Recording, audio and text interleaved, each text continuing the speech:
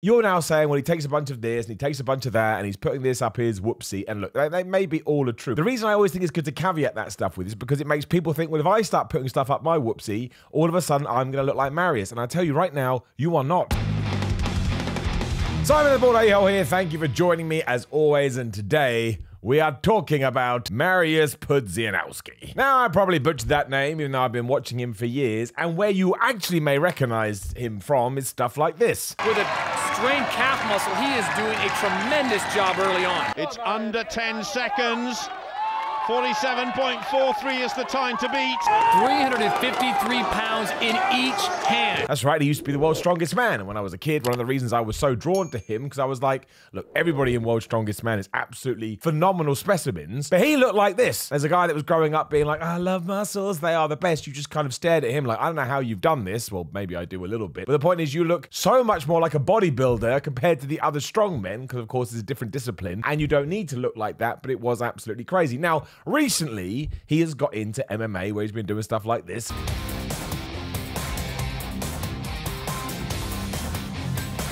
But it also means that uh, before his next fight, he's gone out there and he's done a bunch of press.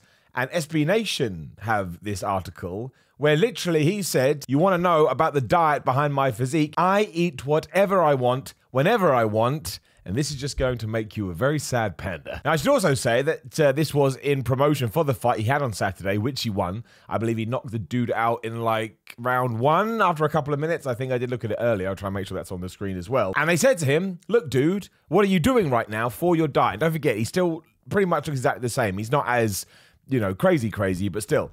And he said, I don't have any kind of particular diet. I eat everything. Right, ready for this, right? I can eat 30 bars of chocolate, drink two cartons of milk, then eat five pounds of ice cream in bed. I mean, why are you're doing it in bed, I don't know, but whatever floats your boat. I eat whatever I want, whenever I want, and I always have these beautiful muscles on my body. I, I read a few years ago that you said you don't follow any kind of particular diet. You never have. You eat anything you want, whenever you want, even junk food and things like that. Still at this age, you do this? Okay, so I don't have any kind of particular diet. I just I eat everything. I can eat 30 bars of chocolate and drink two cartons of milk then i have i can eat like three kilo three uh, five pounds of of uh, ice creams in the in bed. It's like i, I eat whenever i want uh, whatever i want whenever i want and i always have this like beautiful uh, muscles on my body. You're now saying, well, he takes a bunch of this and he takes a bunch of that and he's putting this up his whoopsie. And look, they, they may be all a true. The reason I always think it's good to caveat that stuff with is because it makes people think, well, if I start putting stuff up my whoopsie, all of a sudden I'm going to look like Mariusz. And I tell you right now, you are not. You are not going to look like him. This is somebody who has been born. You've heard it before and you'll hear it till the day we're all dead. This guy that has been born with superior genetics. Even if he didn't go to the gym, you could probably still look at him and go, man, that guy looks kind of bulky. And even if he went to the gym without a proper diet, which I suppose what he does do, you know what I'm saying, even if he just did it casually and went three times a week, he is still going to develop muscle. And the fact he can hold that much muscle still at 45 years old is absolutely uh, ridiculous. And he went on to say, uh, talking to Ariel Helwani, who was doing the interview, that his physique is first and foremost a result of a systematic training regime he's maintained for decades, but he made it clear there is no limit as to what he can eat. Now, must have changed something because he talked about how when he did his second MMA fight, which was a two round affair, he struggled because of his cardio. So, what I'm going to suppose has happened, that's probably the reason he looks less muscular now than he did three, four, five, six, seven years ago. Whenever he was at the top of strongman, I can't remember. Because do not forget, and some people don't actually think about this, when it comes to cardio, uh, cardiovascular activity, the more muscle you have, the more oxygen your body needs, right? It just stands to reason. So, if you don't keep up your cardiovascular training, you see it in wrestling a lot too. Like when Triple H came back in 2002 from his 2001 injury, he was massive massive. He was super big, but one of the first things people noticed is, man, he's kind of getting all huffy and puffy. And some of that was because obviously he had ring rust and get back into it, but also his body was carrying more muscles. So there's just more of him. So it's harder to move. I mean, that's all it is. It's simple. But yeah, he went on to say MMA is a different sport than strongman. Obviously, good shout there. I must change everything. I like that. Like an army commander. I had to train eight years to drastically change my body in the kind of way that my body is functioning functioning because I couldn't stand five minutes or 10 minutes because, again, it's probably so damn bulky. For eight years of my training, I wasn't capable of doing the whole 10 minutes in terms of the fight,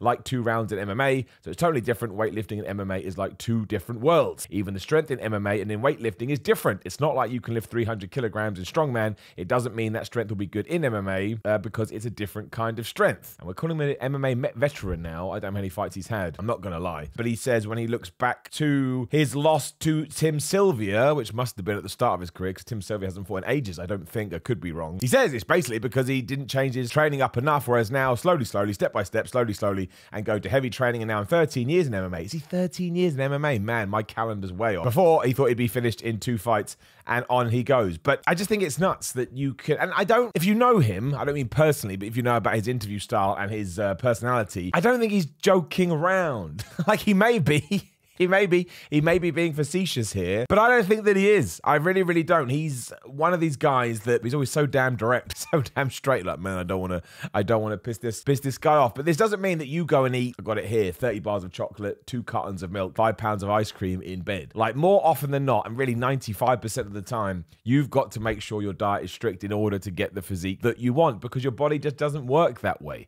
I think that's why I always, always, always pimp out and always promote saying you've got to focus on how your body operates and how your body responds to training and how your body responds to food. Because that's the only way you're going to be able to get better is by accepting these things and moving on. Just in the same way, if somebody has IBS or a dairy intolerance and they love milk, well, it's just tough luck. You just have to accept you can't have milk or you have to suffer. And it's the same with your body. If you have to have a low fat diet for some reason, otherwise you get really fat, that's just the way of it, and you better accept it, otherwise you're never going to get the physique that you want. And that's somebody pointed out in the comments as well, is we don't know how much training he's doing. Maybe he's an absolute beast. I mean, he looks like one. And if he's doing crazy amounts of activity, it's like a swimmer's diet. I remember when Michael Phelps's diet first came out, it's basically like, I eat 72 pancakes for breakfast, chocolate chip pancakes. So people all got mad, like, well, I want to eat chocolate chip pancakes for breakfast. And then he said, but yeah, I'm basically training for like 12 hours a day. If you are doing swimming for 12 hours a day, you can eat chocolate chip pancakes for breakfast. Your body is just going to be like, oh my gosh, fuel. Thank goodness. I'm so tired. I'm so exhausted. And I did go into the comments, like I say. And of course, people say, I take as many steroids as I want. I train hard. Ha ha. Funny, funny. Eat clean, train hard. All the things you've heard before. And again, I'm not going to dispute that,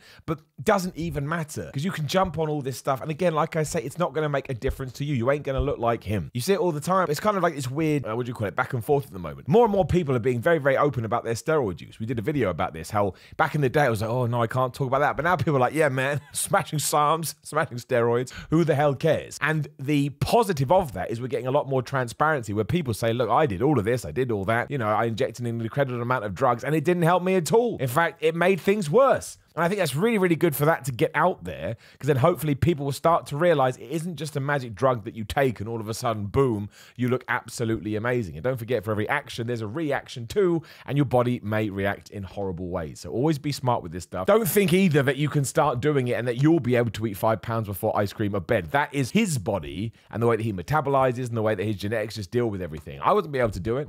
If I even look at a hamburger, it's just like a massive fat guy. So I deal with it, and I and you go through day by day. But I think the problem is that we're always looking for excuse. Of course we do. You know, junk food is amazing, so we're always looking for excuse where we can be like, "Oh, be all right." Like how many times have you got in quite decent shape, and you're surprised? You take your top off, you look in the mirror, you go, "Oh yeah, look at that. It's pretty, really damn cool." Straight away, you go, "Actually, that means I can have some nice food now because I've achieved my job." And then in a week, you're like, "Wait a minute, where did my good body go?" It's like, "Well, you eat pizzas for seven days. What did you think was going to happen?" So always keep that in mind. Always be smart. Always take these articles with a pinch of salt and do not let it wreck you and do not let it throw you off course. And the reason that I'm so into doing videos like this is because it used to get me. I'm speaking from experience. It was mostly wrestler stuff, but you read things, well, I'm going to start doing that. And a few weeks down the line, you'd be like, well, this isn't helping me at all. So don't do any of that. Don't worry about it. Treat it as entertainment first, and you keep going out there and uh, you know, digesting as much information, as much education as you can for your certain predicament. And I promise you, in time, with the right dedication, consistency, and discipline,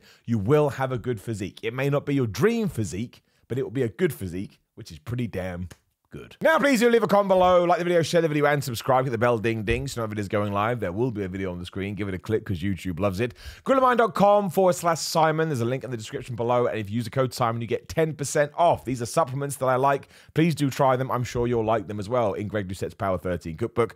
On Instagram and Twitter at Simon316. Patreon.com for Simon316 for exclusive videos. Simon at thebigcartel.com for merch. And I'm on Cameo if you'd like a shout out. Otherwise, good seeing you. Take care. Bye bye.